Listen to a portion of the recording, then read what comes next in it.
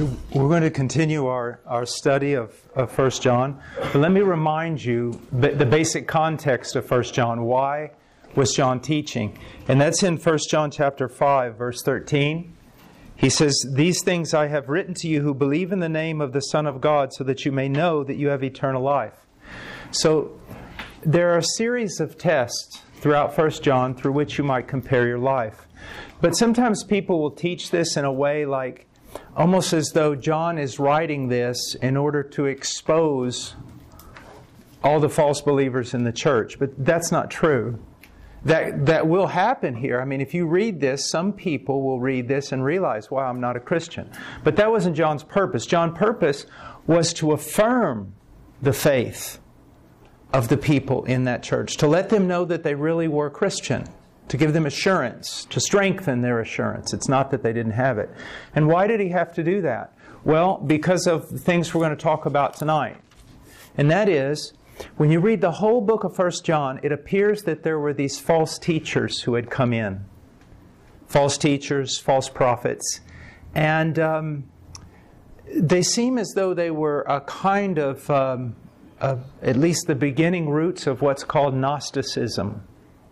It was, it's a thing that, of course, Gnosticism comes from gnosis or knowledge. It was all about knowledge. And basically for them, it was kind of a esoteric, which means dark or hidden knowledge. So, so imagine there's a group of believers and they're sincere believers. And, and they're, they're, they're believing they have eternal life and they're reconciled with God through faith in Jesus Christ and His work on Calvary and His resurrection. As someone told me at the Radford campus, or, or mentioned to someone at the Radford campus after I preached the gospel there, they said, Can it really be that simple? Can salvation really be that simple? Not simplistic, but simple. And the answer is yes. Faith exclusively in what Jesus Christ has done for us, or what God has done for us through His Son, Jesus Christ. So let's imagine you have a group of believers. They're learning to love one another, they're, they're learning to walk in obedience. Uh, John rightfully can call them children. And they have not a simplistic, but a very simple faith. You know, um, kind of like Jesus loves me, this I know because the Bible tells me so.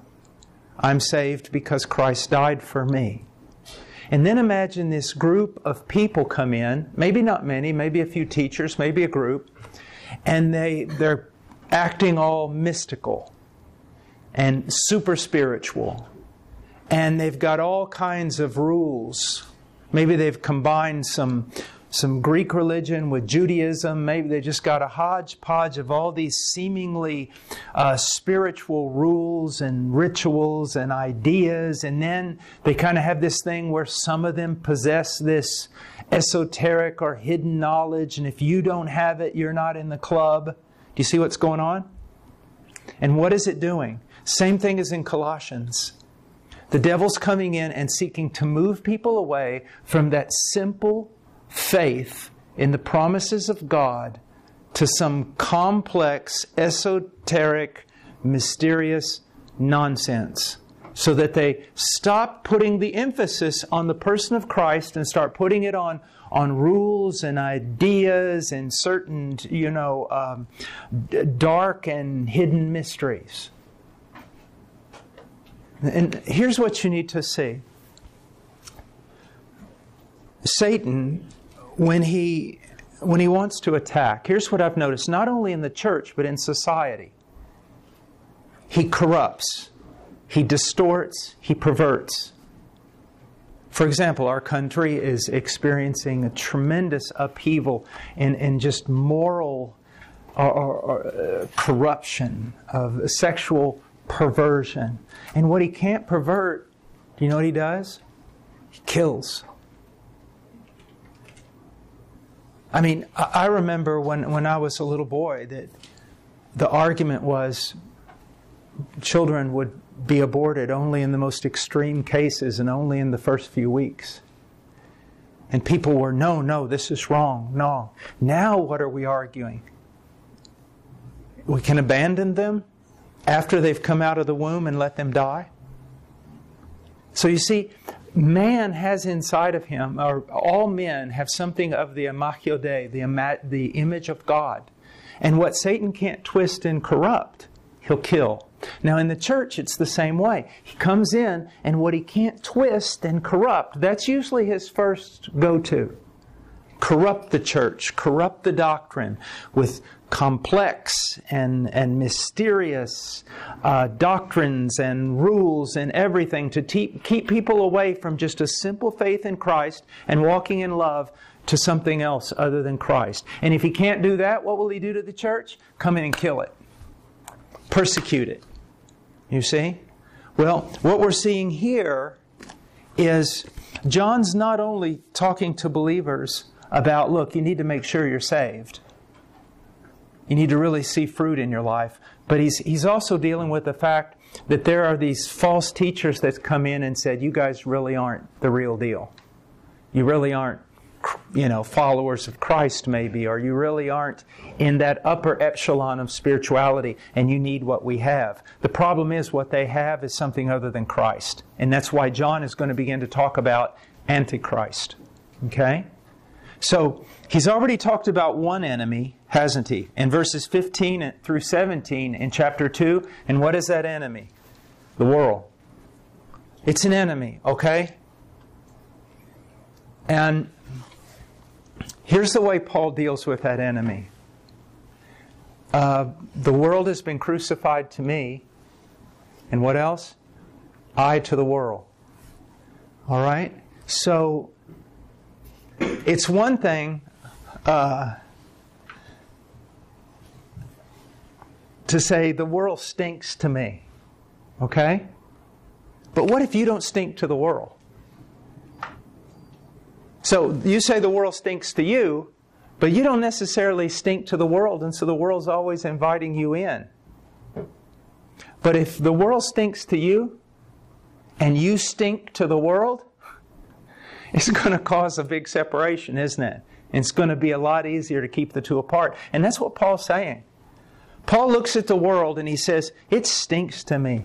It's a rotten cesspool of sin. Now, when he talks about the world, he's not talking about trees, flowers, or baby penguins, okay? He's talking about the, these rotten, godless ideologies, moral corruption. He says, It stinks to me. But guess what? Paul stunk to the world. And how did he stink to the world? By being obnoxious? No. Every time you talk to Paul, it was about Jesus Christ and Him crucified. And that's the world hated it. Every time he talked to the world, he talked about talked to the world. It, he talked to them about spiritual realities. Now, I'm not talking about going home and being obnoxious to your family and 24 hours a day rebuking them. But I'm talking about not only did he look at the world and see that it he didn't want it, he walked so close to Christ that the world didn't really want him either. You see, if this really good looking guy says that he's really not interested in any of the girls, it's still a problem if he's a really good looking guy.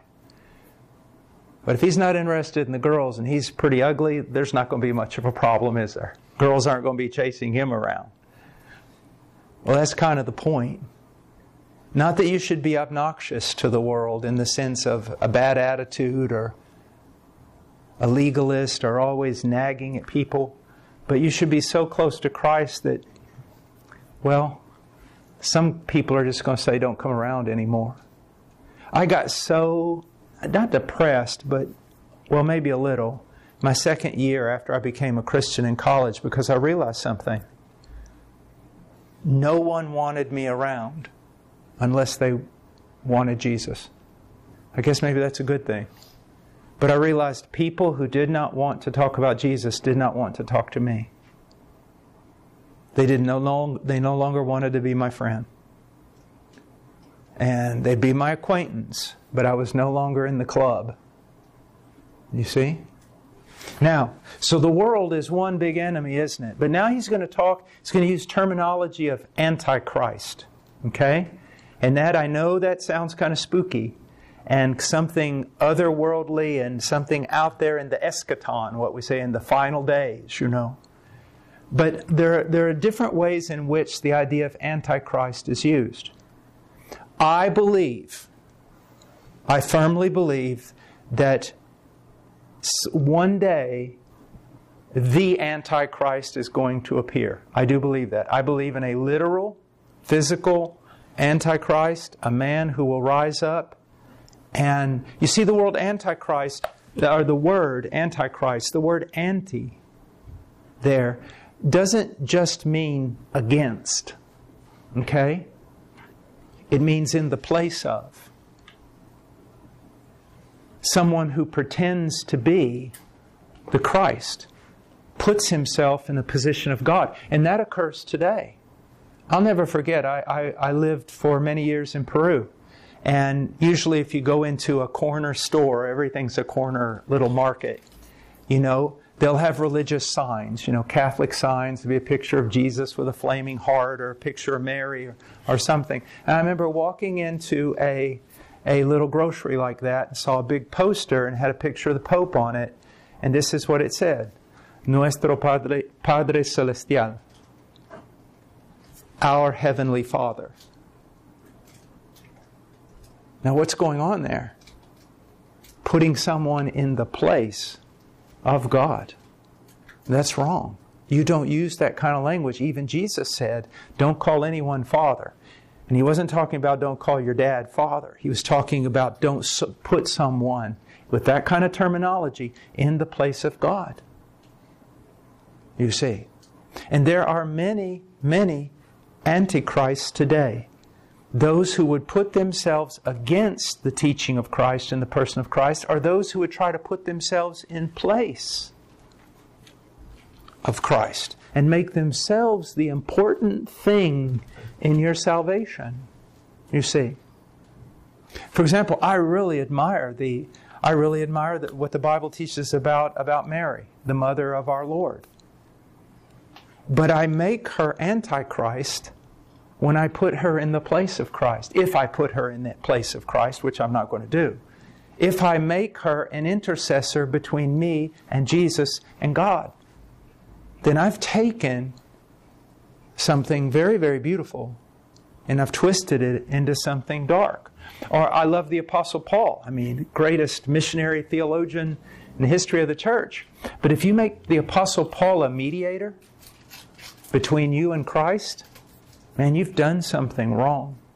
Very wrong. He hasn't, Mary hasn't, but you have. You put nothing in the place of Christ. And although we can learn from each other, and although there are older, maybe elders and preachers, and, and we ought to, if they deserve respect, show them respect according to what the Bible says, but, but there's no one that stands in the place of Christ. There's no infallible religious figure. You see, that's very, very important. Even the Apostle Paul admired the Bereans because when he taught them, they searched the scriptures to see if this was so. I mean, they're checking out the Apostle Paul. So if you're ever in a church and, and you start asking the preacher questions and he says to you, You have no right to be questioning me, get out of that church really, really quick. Do you see? Because there's only one inerrant, inspired, source of biblical knowledge, and it's the Bible. Okay? Now, let's, let's look at, at the text. Now, in verses 15 through 17, he's talking about the dangers of the world. Now, in verse 18, children. Now, look, he starts off with children again. That doesn't mean he's just talking to the kids. Remember what I told you before. There is a sense in which we're always all children. I was writing a thing on discipleship today, and I, I, was explaining the difference between Christian discipleship and all other kinds of discipleship. You know, in, in, in discipleship that you may see in the Orient or, you know, that type of thing, it's like you become, you seek to become equal with your master. And then in some of these, you know, kung fu movies, the master says, You're to go beyond me, you know. That never happens in Christianity. In Christianity, you and I never become the master. We're always disciples. You see? So he refers to them as children. That's also letting them know look, you're not beyond being deceived. You're not beyond needing the exhortation and the warning that I'm about to give you. Children, it is the last hour. Now, what does the last hour mean? Have you ever heard some one of these TV evangelists stand up and say, you know, we're in the last days? Well, we've been in the last days for the last 2,000 years. I didn't know if you knew that or not. Did you know that? On the day of Pentecost, Peter says, we're in the last days. And what does that mean? All throughout the Bible, there was this looking ahead to the last days, the days of the Messiah, when the Messiah would appear and do a work of salvation, you see, that would bring an end to the, to the, the rift, the turmoil between God and man, God and His people, that would set everything right.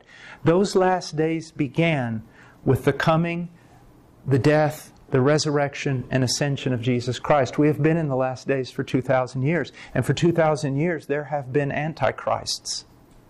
Now, that doesn't eliminate the idea, the truth, I believe, truth, that there will one day come a the Antichrist. But we've been in a world with Antichrist for many, many, many years.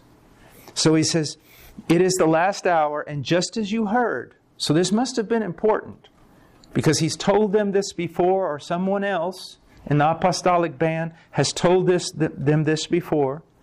He goes, Children, it is the last hour, and just as you have heard that Antichrist is coming, he is. It's in the planning, it's in the making. We don't know when. We don't know when. And be very careful of interpreting your Bible through the newspaper. Okay? Because you can go back and you know, when Hitler rose up, what did, what did a lot of people think? It's the Antichrist.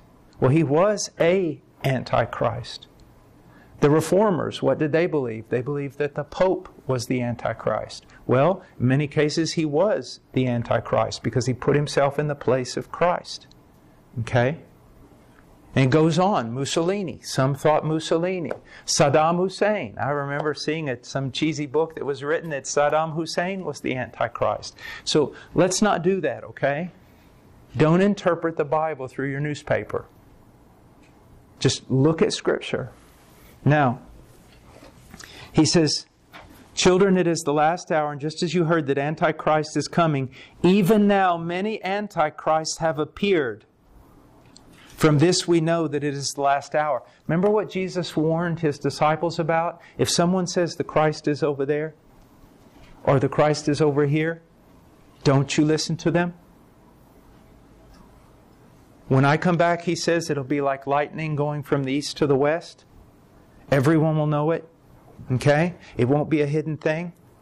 Yet, how many, even Charles Manson, you know, pretending to be something. In, in Brazil right now, there's a man who, and, and in Latin America, there's a man who, who calls himself, you know, Christ, that Christ has come back, you see.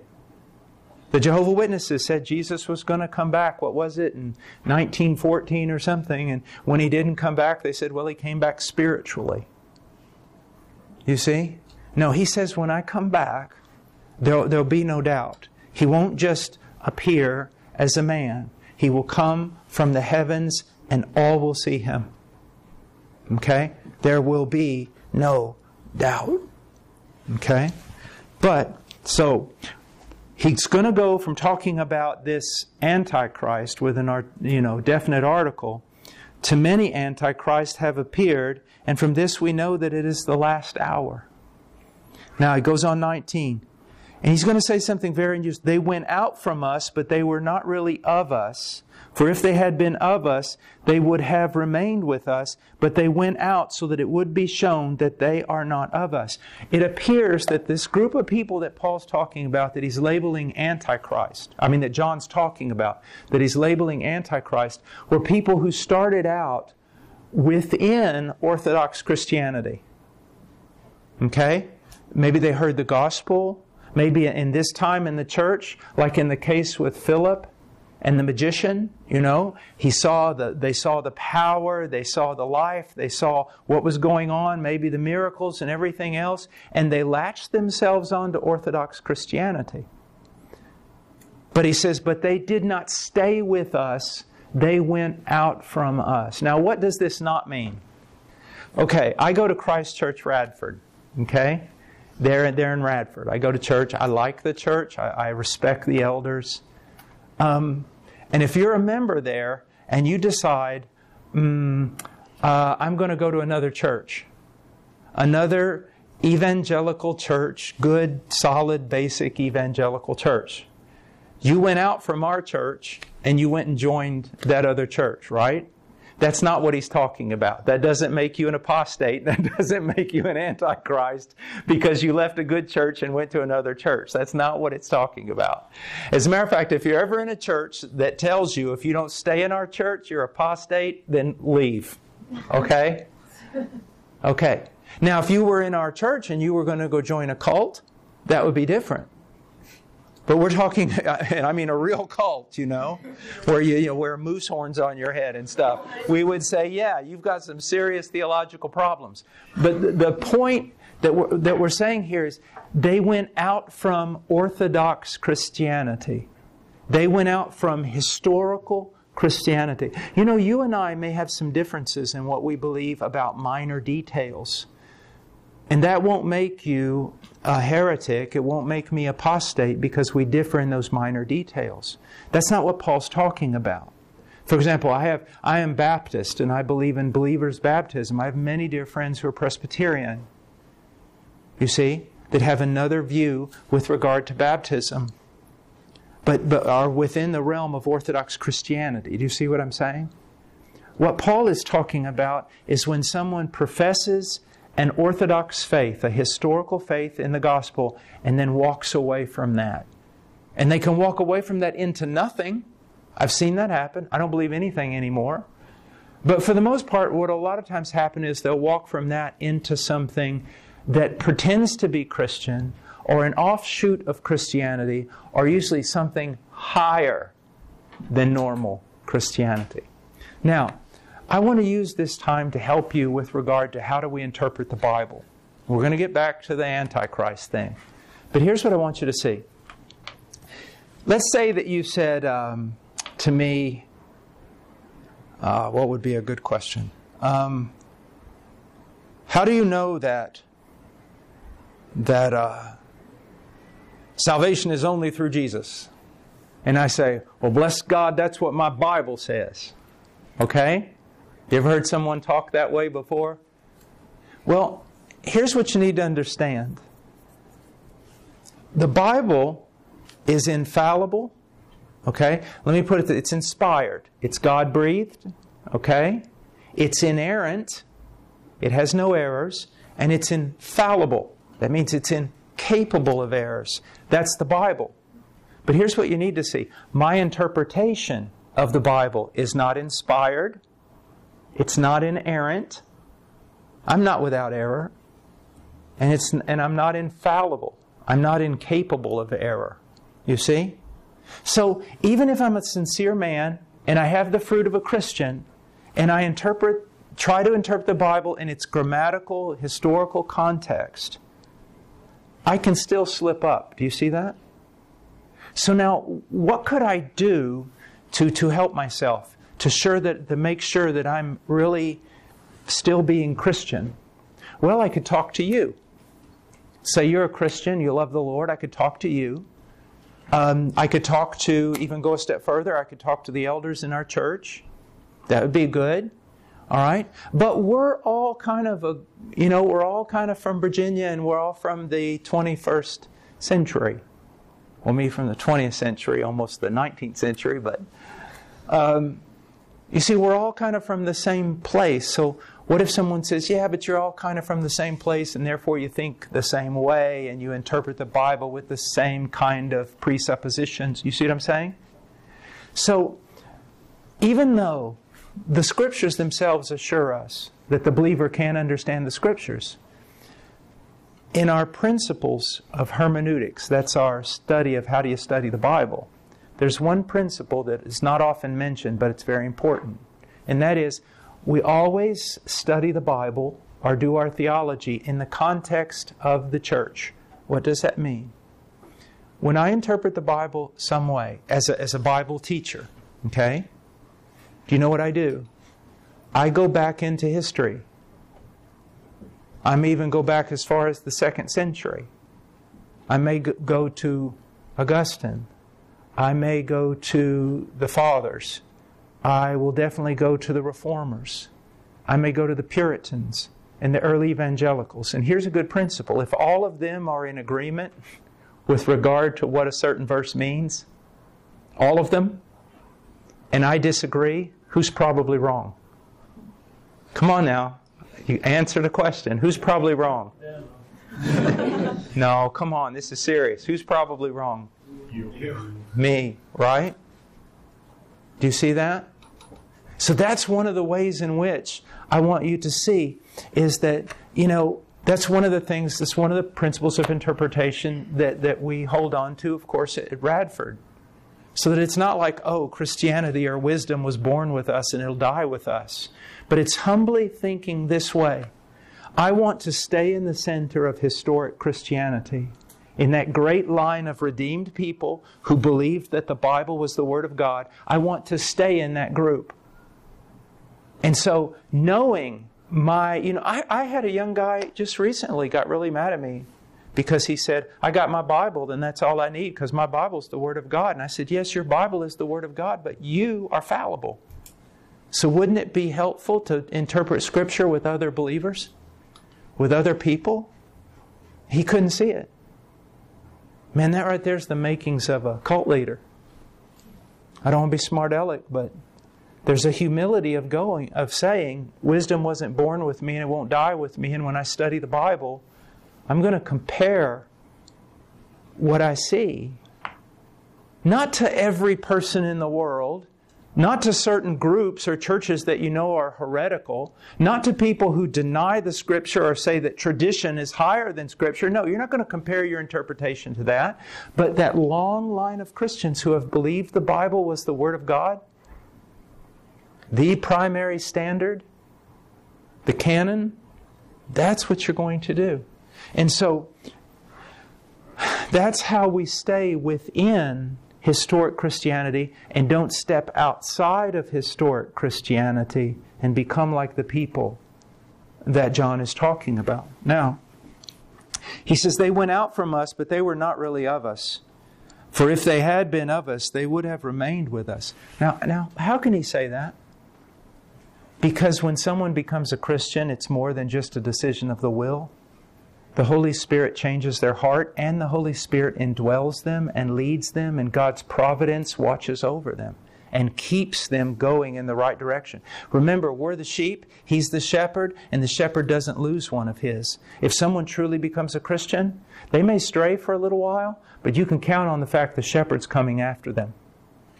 And He will bring them back. He will. They went out so that it would be shown that they were not of us.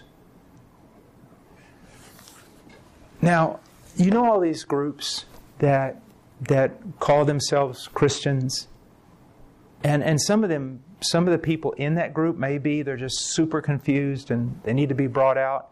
But you know, you'll see these TV preachers, and they're saying that gold's raining, you know, raining down from the sky, and that millions of people are getting healed and give them money and God will bless you and, and that whole thing.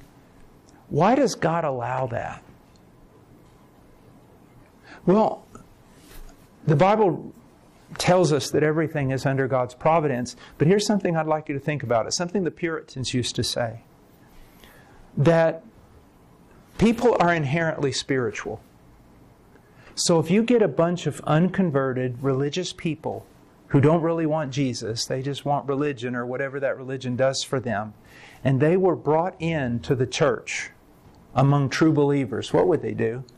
They would just destroy everything, wouldn't they? And they would say that sometimes God will allow, or in His providence, there will be raised up this type of teacher that is not Christian, is can even be vile, foolish, whatever, but appears as something great and spiritual. And the true Christians look at that and will have nothing to do with it. They know this guy's a shyster. He, he doesn't love Christ. It's all about him. He's in the place of Christ. But all those other people who love spirituality, but not so much Jesus, or love spirituality for what it can do for them or how it makes them feel, that guy draws them out of the flock. And it actually protects the flock. I mean, if you looked at you look at some of those TV preachers, when you look at them, doesn't it kind of make you sick? Then how is it that so many people think they're basically almost like gods? So, it, in the old days, if, if, if you had um, infection or poison in, in your arm and it was swelling up, they, they would put a, a thing over it, a, a moist, hot rag with some herbs and things. And you know what the intention was? To draw out the poison in order to heal and protect the arm. In the same way, sometimes these false Christs and these religious leaders that go out from Christianity and start their own thing and teach doctrines that are very contrary to Scripture, they draw out of the true church these people who don't really want Christ, they just they want money or what can God do for them or do you see? And in a way it acts in times to purify the church. But it can also be, it can be extremely dangerous. He says this. Now, in verse 20, but you have an anointing from the Holy One, and you all know. In some translations, you know all. I don't think the translation is is, is appropriate to say you know all because we don't know all. The Bible never tells us we know all. But he says, You all know. You have an anointing from the Holy One. If you're a true Christian, you have an anointing from the Holy One and you know. Okay, what is he talking about? The anointing from the Holy One is the indwelling of the Holy Spirit. And the Holy Spirit teaches us. And I believe that, that John may have in mind uh, the promise that we find in Jeremiah 31. Just turn there for a moment. In Jeremiah 31,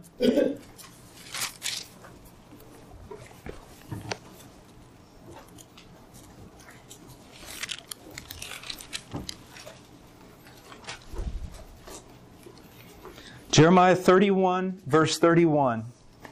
He's talking about the new covenant. This is the Old Testament. It's talking about the day when the Messiah comes, dies, and rises again, and the benefit of that, the new covenant that's established uh, upon the blood of the Messiah. Okay? It says in verse 31 Behold, days are coming, declares the Lord, when I will make a new covenant with the house of Israel and with the house of Judah not like the covenant which I made with their fathers in the day I took them by the hand to bring them out of the land of Egypt, my covenant which they broke, although I was a husband to them, declares the Lord. He goes in 33. But this is the covenant which I will make with the house of Israel after those days, declares the Lord. I will put my law within them, and on their heart I will write it, and I will be their God, and they shall be my people. Now look at verse 34. And they will not teach again each man his neighbor and each man his brother, saying, Know the Lord, for they will all know me, from the least of them to the greatest of them. So, what is he saying? You know, the, the, the nation of Israel had these laws written external, written on tablets of stone. There it was, but it, it had no transforming power. He says that when, when Christ comes, those who believe in Christ, will receive the Holy Spirit. The Holy Spirit will indwell them, and He will, through that, write His laws on their new heart. And they will know the Lord. They'll know Him. I remember um, a few days, uh, it was a few days after I became a Christian, I heard somebody preaching on campus. And I mean, I didn't know anything. I'm talking about dumb as a stump.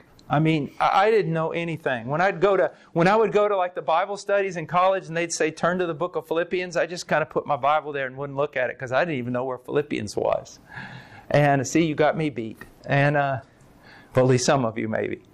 Um, but I mean, I was as dumb as a stump. Maybe better to say dumb as a rock. And, and this guy got up and started preaching. and then this really pretty girl came over and started talking to me about joining their group or something. And I just knew. I got scared. It just didn't seem right. There was something wrong about it. It just, they didn't talk much about Christ and they talked about other things and, and, and it just, it, it almost kind of scared me. And I remember going back to one of the older believers on campus and, and talking to him and saying, you know, I just came across this group, man. I don't know. I said, I don't know exactly what was wrong, but I just felt like it was all wrong. And he goes, Man, it is all wrong. It's one of the most dangerous cults on campus. You see, when someone is truly converted, it's not that they become this magnificent theologian in a day, but they know that, well, Jesus is precious to them. They know that their salvation is through Christ alone. And they know when someone starts peddling something else, that it's just not right. When someone comes with the complexities and the, no, something's wrong. I love Jesus. Jesus saved me. I'm saved because of Jesus, because of what He did. You see? And, and I think it's good to be in a church and to be with pastors, but these guys act like they're my, you know, I don't know, spiritual dictators or something. And if I don't join their group, then I'm out. And I'm telling you that when someone becomes a believer, yes, we can be deceived to some degree. But the Holy Spirit inside of us, the providence of God, what He's done in our heart, it will make sure that even if we stray for a moment, we'll come back. He'll bring us back. You see? And so that's what, that's what He means here when he says, But you have the anointing from the Holy One, and you all know. And these super spiritual people, they don't have that. Because if they, if they truly knew Christ, they would walk in the simplicity of Christ, of faith in Jesus Christ, and love towards the brothers and sisters in Christ. You see? And he says, verse 21 I have not written to you because you do not know the truth. I think this is what they were being told. They were being told by these false prophets, you don't know anything.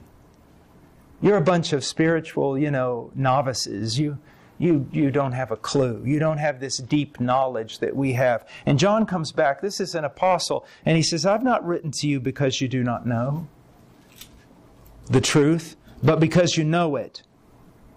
You do know it. And what he's going to say is, leave all this silly stuff these people are talking about and stand fast in what you learned. The simplicity of the gospel. And then he says, not because you don't know the truth, and then he says, because no lie is of the truth. Now, this is kind of difficult to interpret, but I think that what he's getting at, and, and other commentators basically would affirm this, is you know how you get in trouble? You see this in politics, you see this in everything, where it's like, well, you know, yeah, it's true, but but you know this isn't necessarily not true. Do you see what I'm saying? Yeah, what you're saying is right, and, and yeah, this is different, but that doesn't mean this really isn't true too. And it's a blurring of the lines, isn't it? Dear, dear young people, listen to me. Most of you, if not all of you, have a much higher IQ than I do. You're all geeks who have calculators and stuff like that. Engineering students, well, at least some of you. Where's the girl that wears the watermelon on her head? I need her. No, but uh, no, really. What's her name? Sasha. but but but here's here's what I want you to see. I have seen this more than any other thing in my 35 years to ruin good people, good churches, and good movements where God seemed to really be doing something and begin to work. And, and it's not that something comes and says, all this is wrong, but it says, this is wrong. I mean, this is right, but my version is right too.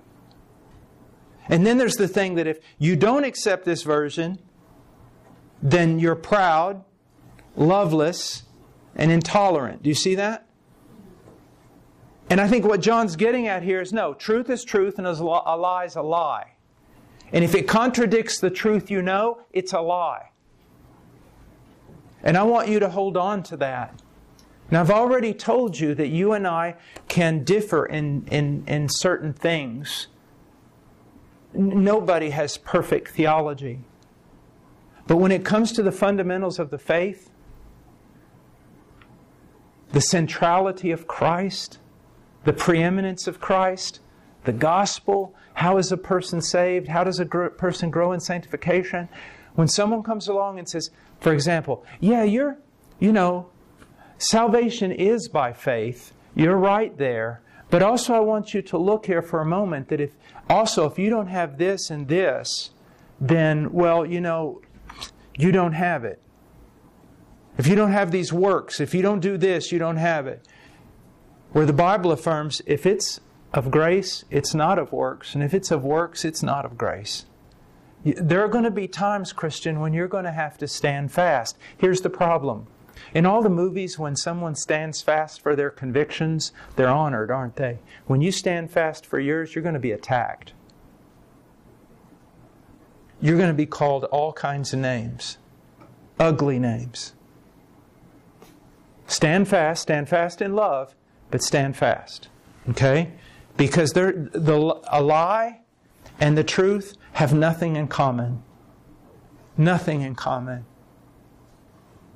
And though, although there are some areas where I can sit there and I can say, you know, I'm not really sure about you know exactly what this text means in the book of Revelation here, but it's not absolutely essential for my conversion, and I can show, you know, I, I don't have to be adamant about this or break fellowship with people over this one concept, even though I need to be humble in those types of things. When it comes to the fundamentals of the faith, no, I draw a line in the sand and like do Luther, you know, so help me God, here I stand. And, and so that, that's what you have to do. Now, then he says in 22, Who is the liar but the one who denies that Jesus is the Christ? Again, young people, listen to me. I have seen this so many times. There's a man that is growing right now in great popularity. And, uh, you know, is on all the TV shows and everything as a spiritual guru and everything. Um, and man, it's, it's wickedly genius what he is saying. Because he says, you know, Muhammad had the truth, Jesus had the truth, Muhammad, you know, uh, the Krishna had the truth, Buddha had the truth, this guy had the truth, and man, everybody just thinks he's great because he's tolerant. But then when someone says, "Yeah, but Jesus said, I am the way, the truth, and the life," and no one comes to the Father except through me. So, how can you say that Jesus has the truth, and this guy has the truth, and this guy has the truth, when they all contradict one another? And you know what he said? When Jesus said that, it wasn't Jesus saying that, it was the Christ. It was the Christ Spirit. And the Christ Spirit dwelt in Jesus, dwelt in Muhammad, dwelt in Buddha, dwelt in this person. And so when Jesus said, I'm the way, the truth, and the life, he was speaking as the Christ. And he said, No one comes to the Father except through the Christ, but the Christ is in Jesus and Muhammad and Buddha. You see how wicked that is? Very, very clever, very wicked. You can mark my words. The devil's going to attack the Word. And if he can't attack the Word, he'll twist the Word. And the one place where he's going to go, there are, there are several, but one of the main places is he's going to depreciate the person of Jesus. That he wasn't God in the flesh. That he received the Christ Spirit, but he wasn't the Christ. You see, that he was a normal man and the Spirit of Christ just came upon him. A lot of people in history have said that happened during his baptism, that he was a normal man up to that point. You see, they're always going to depreciate and destroy, attack the character of Christ, the attributes of Christ. You are not Christian. Now, you have the freedom to do this, and you can be whatever you want, but you're not Christian if you do not believe that Jesus Christ is God in the flesh. You are not Christian if you do not believe Jesus is the Christ. if you believe that he received some spirit of the Christ, you're not a Christian. Do you see? And that's what's, that's what's going on here. He says, Who is a liar but the one who denies that Jesus is the Christ? Okay? This is the Antichrist, the one who denies the Father and the Son. I, I would find it very frequent in my early praying when I was younger to say this Father, I know I have no, apart from Jesus Christ, I have no part with you. And that's true. You have no part with God apart from Jesus Christ, His life and atoning work on Calvary and His resurrection. Jesus the Christ. Okay? Not someone who received the Spirit of the Christ. Now, there were in this time, of course, some Jewish, uh, many Jewish people who believed that Jesus was not the Christ. Okay? But this seems to be a kind of even different group than that. Okay? And we see that thing continue on today. I believe Jesus was a good man, people will say. But I don't believe he was the Son of God. I believe he was a good man, but I don't believe he was God in the flesh. I believe he was a good man, but I don't believe he was the Messiah. Well, here's the problem. And C.S. Lewis called this, how many of you ever heard of it? It's the trilemma. Okay? In the trilemma, here's the problem Jesus said he was God, Jesus said he was the Christ. That only leaves us with the following options. One, he was the greatest liar who ever lived because he knew he wasn't the Son of God, he knew he wasn't the Christ, and he told everybody that he was, and he's deceived more people than anyone else that's ever lived. Okay? Or Jesus was very sincere but a lunatic. I mean, if you go to class tomorrow and there's a guy standing out in the middle of the quad or whatever you call it here on a park bench, you know, with tinfoil on his head, screaming out that he's the Son of God who came from the planet Uranus, you're going to think this guy's out of his cotton picking mind, right? So Jesus was either a liar or he was a lunatic because he said he was God. And anyone who says they're God and not God and they're sincere about it, they're a lunatic. But does a liar die for his lies? And does a lunatic leave teaching that literally transformed the world? Third option, and the only real option, is this Jesus Christ is exactly who he said he was. He's the Son of God, God in the flesh, God incarnate. Okay? And if you ever depart from that young person, you may call yourself whatever you want, but you are not Christian. Because this whole thing of Christianity, I mean, think about the name. It's all about Him. Okay? Let, us hurry on through this. Um, look at verse 23. Whoever denies the Son does not have the Father. The one who confesses the Son has the Father also. Um,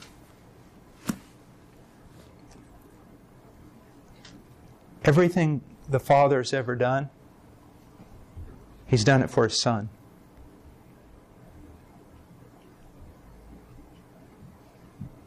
He loves His Son. You deny His Son, you don't have the Father. You know, I've been in culture, especially in Latin America and in Africa. But I saw this a lot in Latin America because I lived there. Um, it was really neat to me because the culture was so different but I found out this that if, if like, I'm at language school and I meet this Peruvian guy, we hit it off, we play basketball or whatever together, and he says, Hey, come to my house and eat with my family. When I walked in that house, it was like I was family. Why? Because I was the son's friend. The father treated me, honored me, treated me almost like a son because I was the son's friend. Because I knew the son, the son knew me. I've seen that in cultures.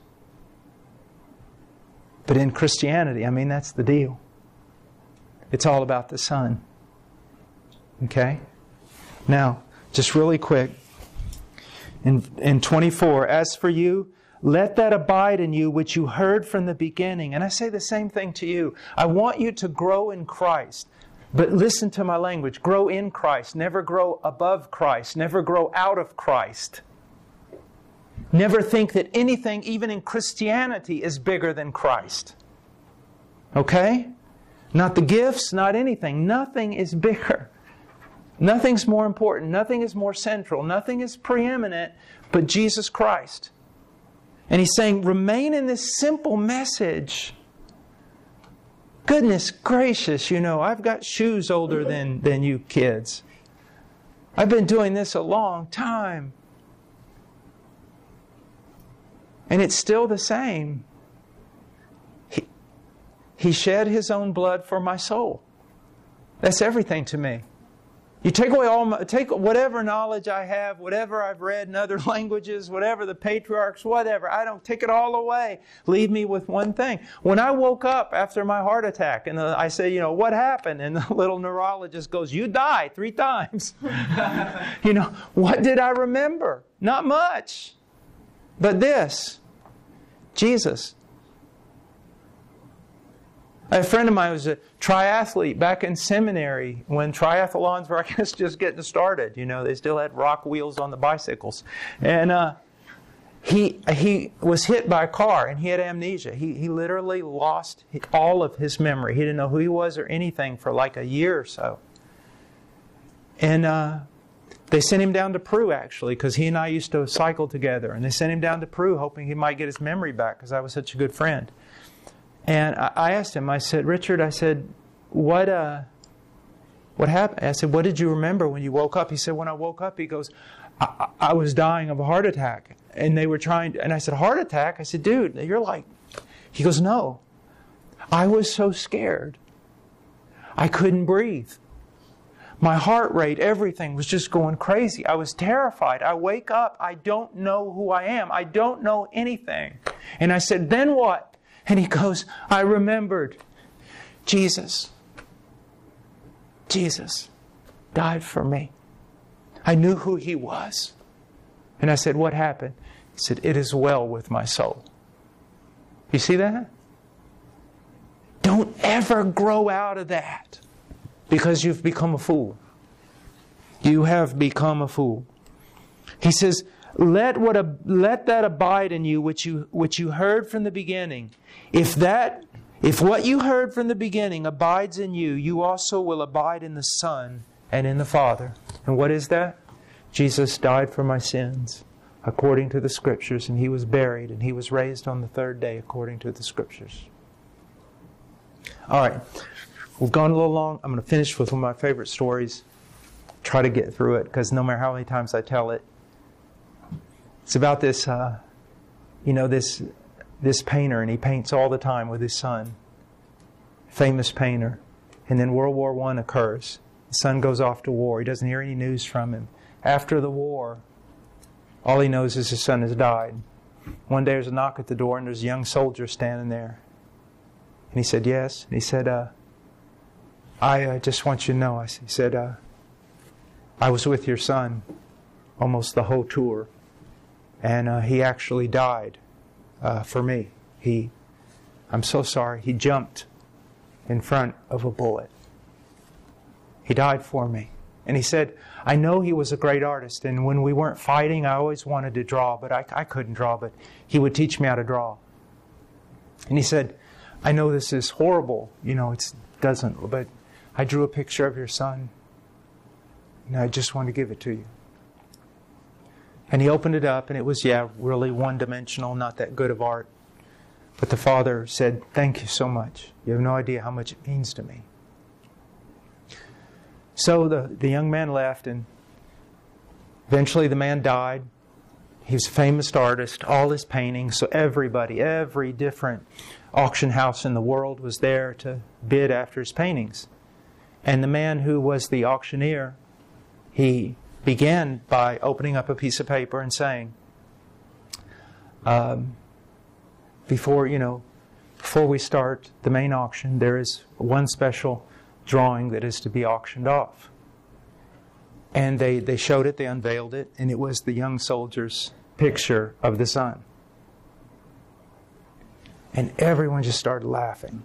They said, That's the most horrible. I mean, Come on. We didn't travel all this way for this joke. Get that stinking, it's just horrible. Well, the young soldier was sitting in the, uh, in the auctioneer house. And he could hear the people laughing, not so much about the painting, but the subject of the painting. It's not even a true story, but the truth that. And so the auctioneer goes, Who will give me, you know, 1,000? People just laughed. Who'll give me 2,000? People just laughed. Said, Come on, quit this. Soldier stands up and says, I have half my month's pay. It's all I have. But please give me that picture because it's the picture of the Son, the one who died for me. Said, sold. They handed him the picture. And then the auctioneer takes up the mallet,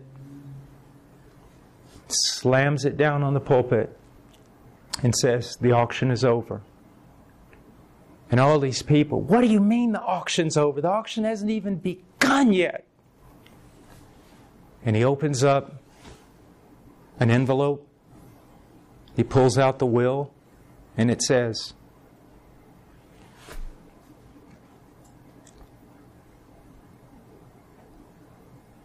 The one who takes my son gets it all. That's, that's the Father's word to us. That's Christianity.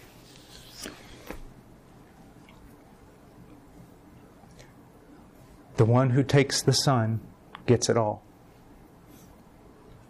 And see, people talk about heaven. The older you get, you think more about it. But really, I don't care. The Christian would rather be in hell with Jesus than in heaven without Him. Of course, that's not happening. But my whole point is that if you ever let go of that, you, you have nothing. You have nothing. If you become the greatest supposed theologian in the world and Christ is not precious to you, you're, you're an idiot. You're a fool. You've lost everything. You're ugly and twisted and deformed. Everything is Jesus. I could sound more sophisticated by saying everything is the Son of God or everything is the Christ. Because that name Jesus is so mocked, isn't it? But I like to say it that way. Jesus is everything. Everything. All right, let's pray. Father, thank you so much for these young people, and I pray, Lord, that having taken hold of Christ and been taken hold by Christ, they will never want anything more but a greater and fresher revelation of Him. In Jesus' name, amen.